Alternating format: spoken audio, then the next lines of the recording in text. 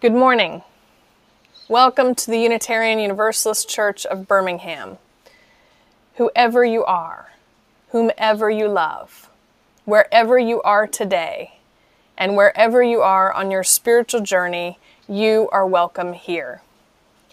As you can see, we are all in a little different places this week, but we still endeavor to gather together in our spiritual journeys in this digital format. I welcome you to this space. To all who are here this morning, welcome home. If you would like to participate or comment on our service, especially during the Circle of Lights, please use the chat feature in YouTube. We invite you along the way to comment upon your participation. You can tell us when you're lighting your chalice, when you're singing along, and share your joys and concerns when the time comes. We also invite you to send virtual hugs and waves to one another using parentheses around someone's name. After church today, we invite you into our Zoom room for coffee hour, small groups, and meetings. Please continue to watch your email for opportunities to connect with our community during this physical hiatus. And if you are not on your, our list, please contact Reverend Julie. The prelude prepares us for worship.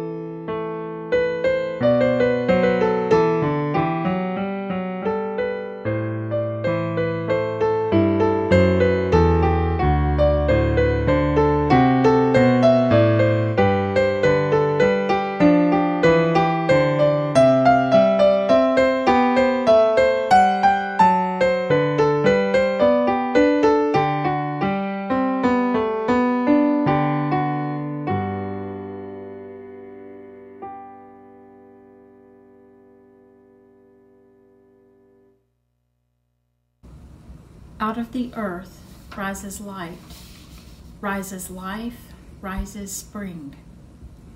May we join with the miracle that is springtime and enter into life with lightness and joy.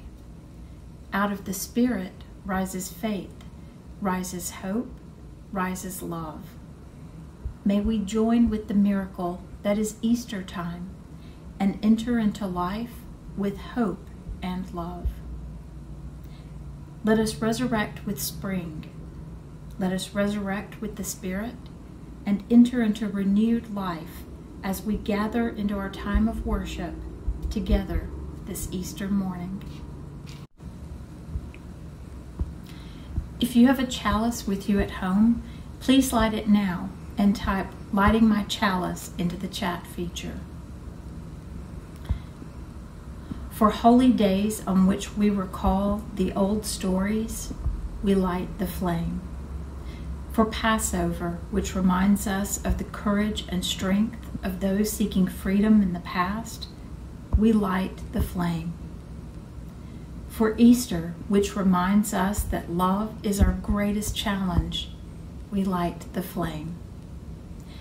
For gathering today in this sacred space, we light the flame.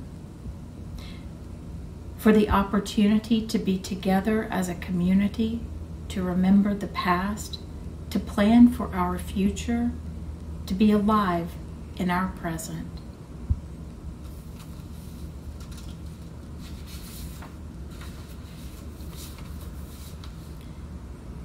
Please join me in the affirmation found in your order of service and in the chat. Join me during the italicized words. We're not sure what happened, but we know what it's like when someone appears whose message we feel offers hope, who inspires us with new ways of living. We know what it's like when they fall short of our expectations, or worse, when they are cut down by the forces of hate and bigotry. We're not sure what happened, but we know what it's like when someone has grown profoundly into our lives, who seems as much a part of our living as our own breathing. We know what it's like when death takes them from us perhaps prematurely, and the empty place now in our souls is much like an empty tomb. We're not sure what happened, but we know what it's like to feel sorrow and loss, despair and grief. We know the waves of tears and thoughts of the past which flow through us. We know that memories and stories begin to fill the emptiness. Our lives are shored up with a different presence which will live with us all our lives. We're not sure what happened, but we know what it's like to realize, to have it dawn upon us, that what we have known and loved lives on with us and within us forever, a part of who we are. We know that somehow in our hearts and souls, resurrection is real, not that of the body, but of the spirit, a spirit renewed, even reborn, in the midst of our lives and our living. We're not sure what happened, but we know there is a difficult hope, a faith that through whatever sorrow or grief we are feeling, that there is a growing sense of grace and gratitude, of joy and thanksgiving in the mysterious and abiding astonishment of being human. In this wonder, may we find strength within our own sense of Easter.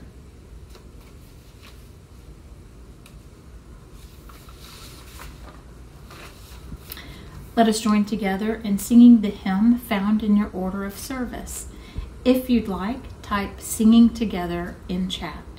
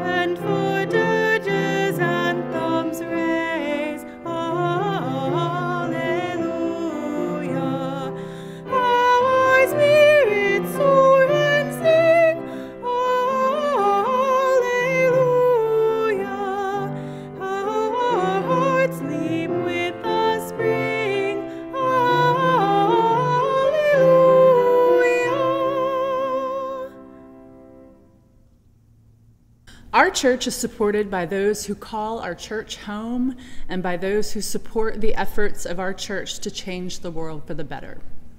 We share our cash plate every Sunday with organizations whose work reflects UU values to care for marginalized persons, advocate for real and systemic change, defend our environment, and promote justice and equity for all.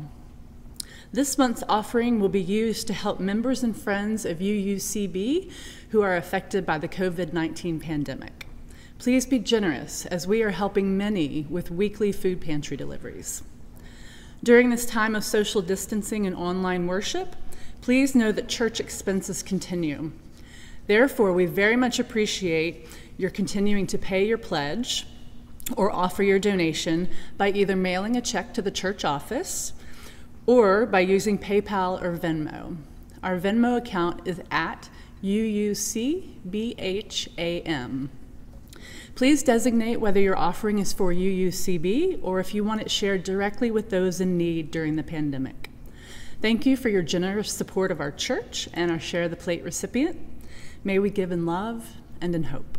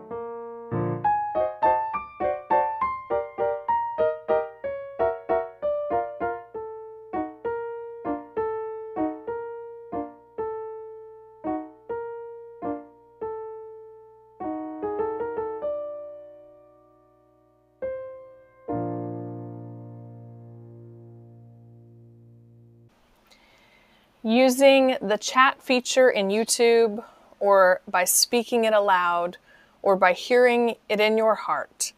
Please give voice to what is on your heart or mind today.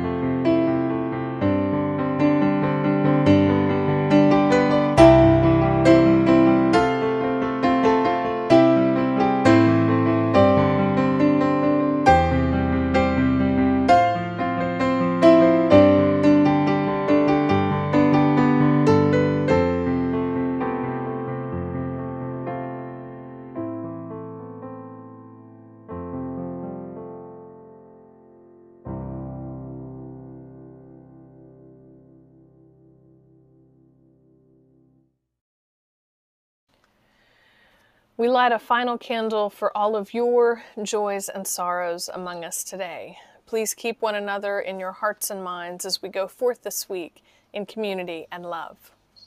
Please take a moment to hear a spoken meditation written by Reverend Chip Roush, which has been edited for length, followed by a moment of silence. For those struggling to live under the restrictions due to the COVID 19 pandemic, we see you. For those who are frankly enjoying their time apart, we see you. For those appreciating the solitude, relishing the opportunity to read, to tidy up, to finish those long standing projects, for those blissfully engaged in the soil of their garden, we see you.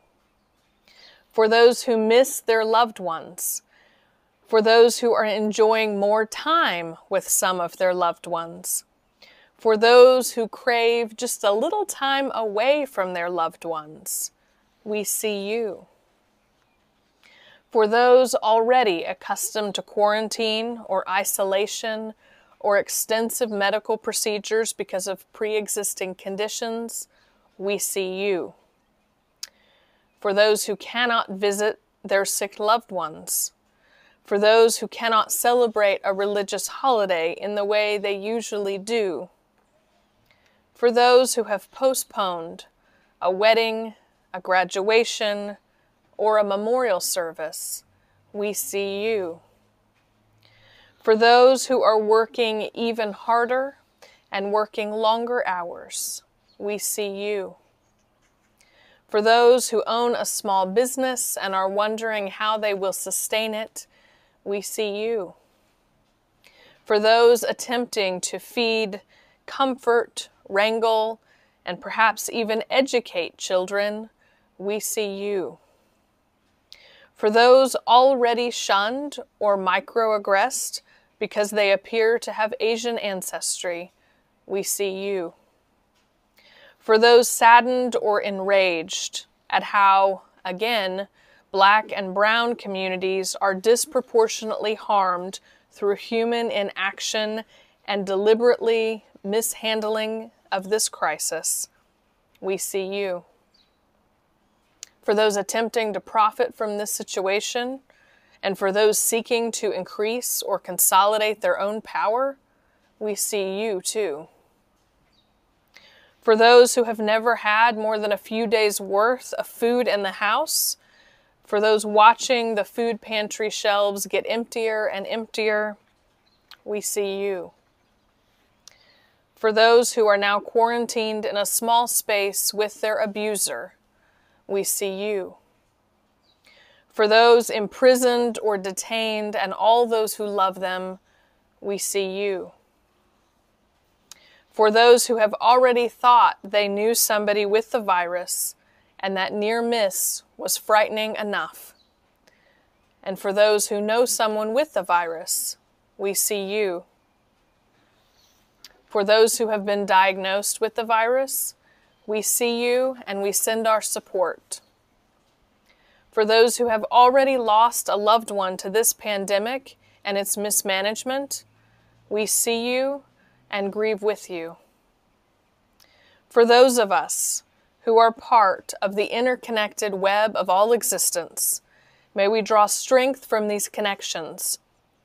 May we furnish resilience to the connections around us, and may we truly feel the spirit of life evolving through and among us so may we be.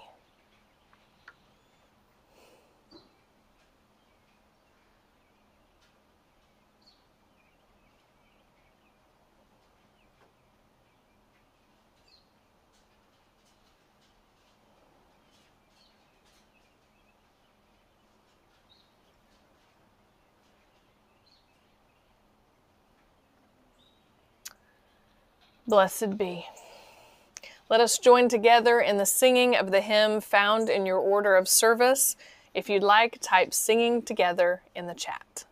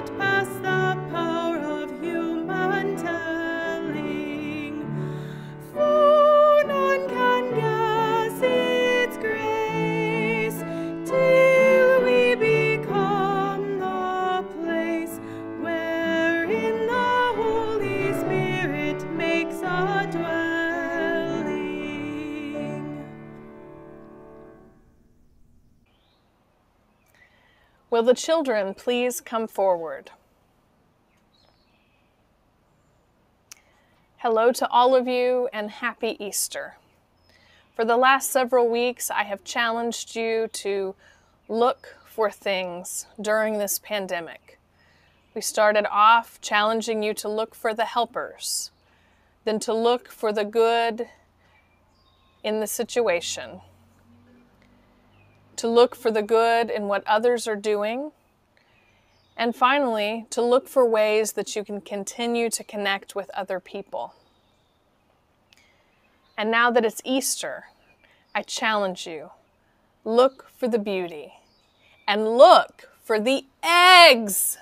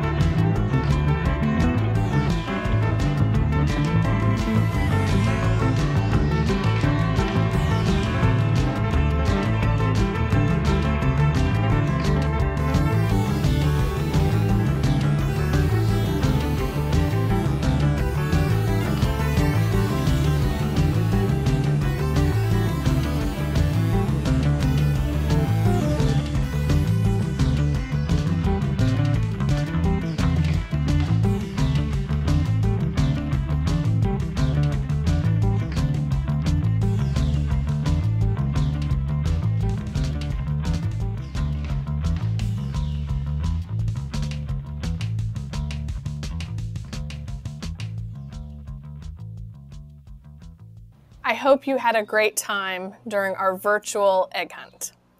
The hardest part about that egg hunt is seeing how empty our church is right now. It is missing all of your laughter and joy and the ways that you interact with your teachers and your friends at church. We miss you. The church building isn't the same without you. But it takes practice to look for the beauty. And so after the service, I invite you to our YouTube channel and I invite you to look for our 15 minute virtual egg hunt. You'll find seven eggs per slide. And as you go through it, I challenge you to practice looking for the beauty and looking for the eggs. And sure, you'll notice how the church building is empty and there are no people. But that is natural and it's okay. But practice focusing and meditating on the beauty of our space and the fun of looking for eggs. Practice, practice, practice. Look for the hope, look for the beauty, and look for the eggs.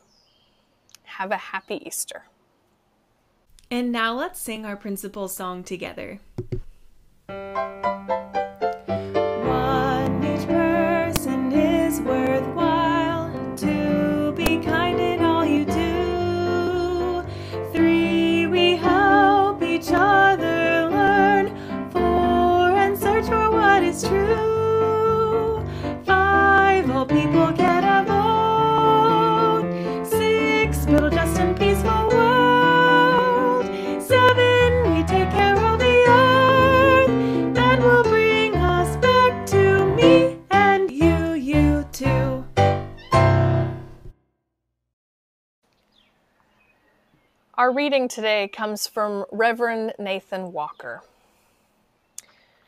The question is not what happens when we die.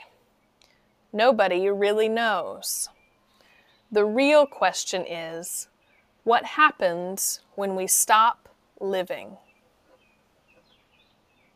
I invite you to reflect on this question by Reverend Walker.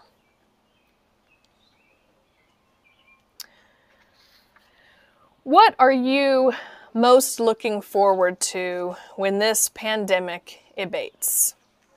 What does your pandemic resurrection look like? Easter is one of those sermons that is really complicated to write for most UU ministers. There is such a varied opinion in our congregations on the meaning of Easter and what we should focus on. And for many, it highlights certain complicated words that provide a visceral reaction. Many of those words were in my sermon last week, as I quoted from ancient non canonical Christian texts. Every time I hear one of my trigger words, I think about that scene in Lion King when the word Mufasa reverberates among the hyenas. Yeah, man, I hate lions. So pushy and hairy and stinky. And man, are they ugly. oh, surely we lions are not all that bad. Oh. Oh, Scars, just you. Oh, we were afraid it was somebody important. Yeah, you don't like Mufasa. Yeah. I see. Now that's power. Tell me about it.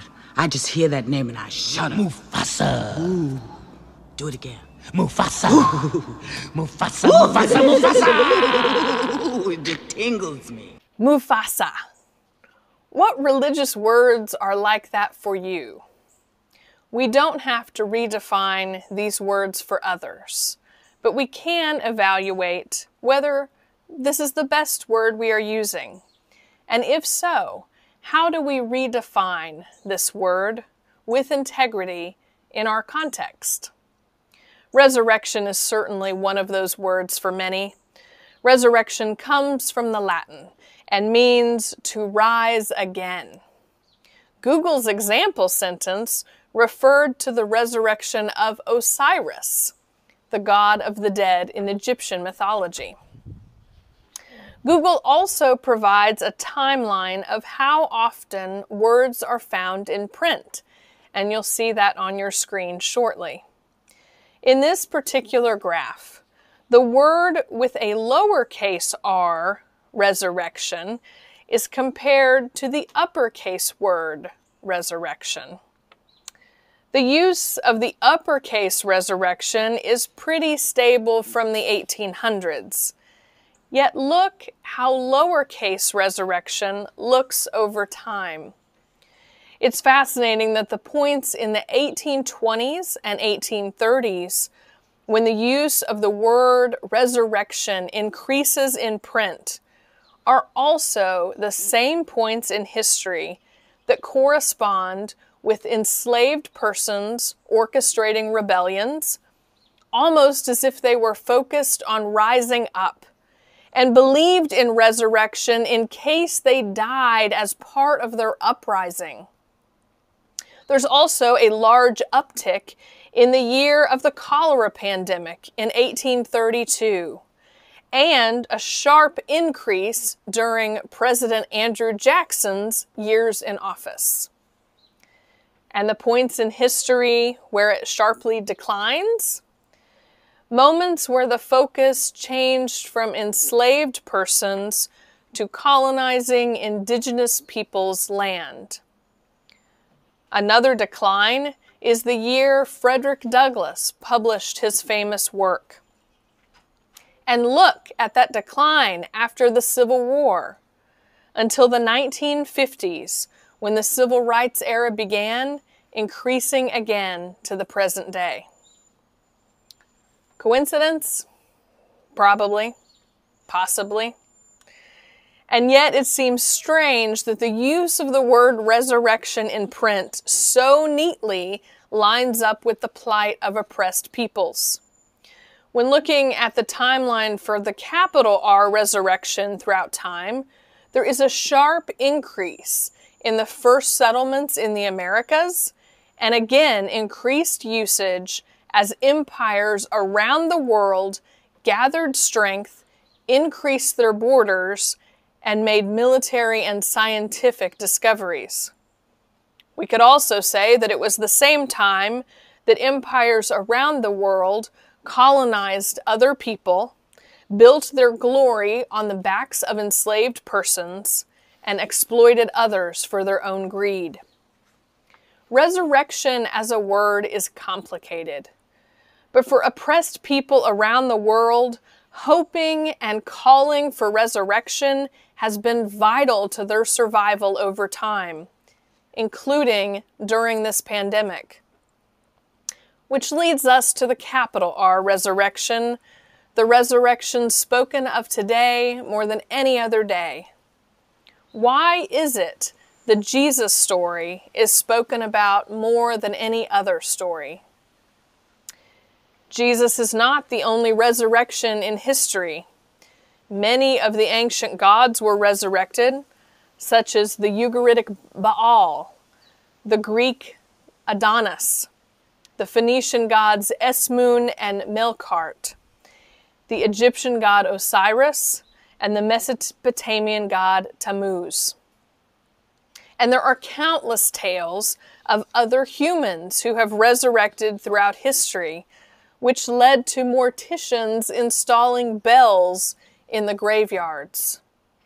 Last year at Easter, I preached about the resurrection of one of my patients at the hospital.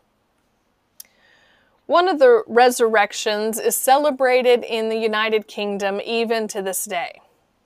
On October 2nd, 1571, recently deceased young farmer Matthew Wall was lying in a coffin on his way to his own funeral. As the procession made their way to the church, one of the pallbearers slipped on wet leaves, dropping the coffin to the ground. The commotion, as you can imagine, was surprising. But when the men lifted the coffin again, they were most surprised to hear knocking coming from inside the coffin. Matthew Wall had come back to life. Wall eventually left his coffin, married his fiancee, and lived for another 24 years. And to this day, his little village in England celebrates every October 2nd as Old Man's Day, where the children take brooms and sweep the sidewalks beside the church to ensure that doesn't happen again. Whether you believe in the physical resurrection of Jesus is up to you. What we do know is that there was a spiritual rising up of Jesus' followers after he was executed by the state and they successfully managed to keep his story alive so much that we are still talking about him today.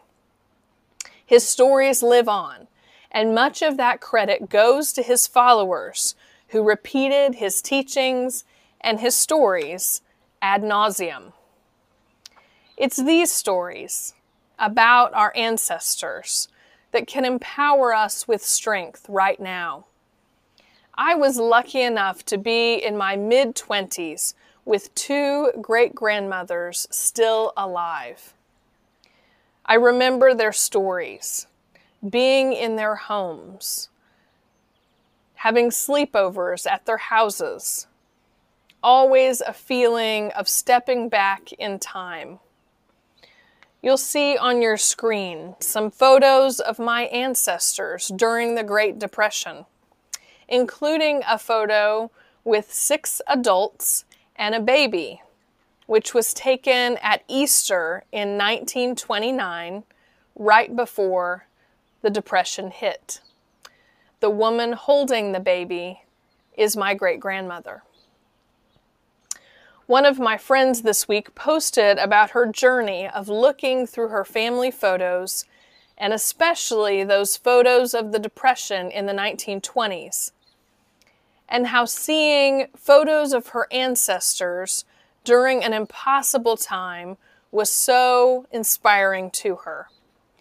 Others have shared memes of how now they understand why their grandma rinsed and reused aluminum foil, or saved bacon grease, or how certain recipes were made in strange ways to accommodate for food that was rationed or difficult to find. One of my family staples growing up came from that era. At our house, we called it eggs on the goldenrod, a recipe which involved hard boiled eggs, flour, milk, butter, and toast. I've met so many people who cannot understand how that constitutes a meal. But as our ancestors used to say, use it up, wear it out, make it do, or do without. Consider the stories your ancestors shared about rising up during difficult times. Or consider the worst time in your life up to this point. Find value in those old stories, in the wisdom which can bring you strength today. Perseverance and hope helped us through those times and will help us through this one too. Our ancestors made it through because they understood the value of community and helping one another. They shared a cup of flour or a couple of eggs with their neighbors as they needed. They looked out for one another. Today, as the flowers bloom and the baby animals emerge, we remember the power of resurrection.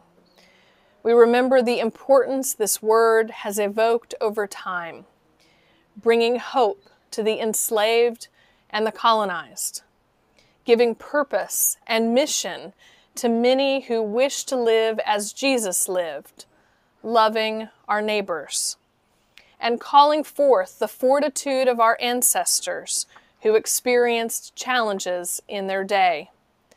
Never before have we experienced such a time as this. But the strength in the old stories empowers us to find our reservoirs of strength, community, and tenacity. To keep searching for the hope of tomorrow, the end of this pandemic, and our joyful reunion in person. May you feel infinite hope and inner strength until we see each other again. I look forward to our pandemic resurrection. Happy Easter. Please join us in our closing hymn found in your order of service. For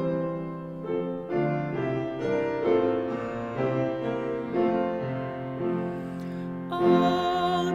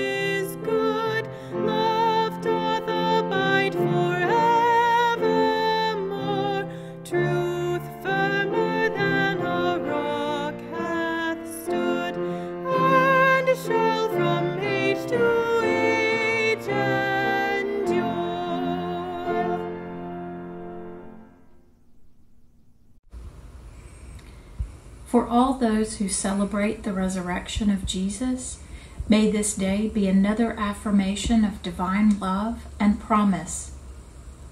For those who see the eternal story of a new spring and life beginning anew, may you breathe deeply of a season of promise and hope.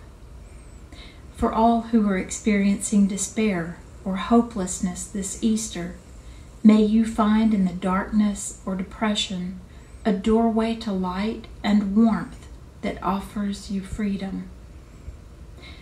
For all of us, together we can do what no one isolated person can do. Rolling away the heavy stone aside reminds us we are far more powerful than we ever could be on our own. Our offering of strong hands to help, our prayers made real. Let us begin again to love. We all know loss and pain. Let none of it divide us. In the rising sun today, let us do together what we cannot do alone. Roll away the stones that close our hearts. May we look forward to our joyful reunion when we are gathered in community again. Go in peace.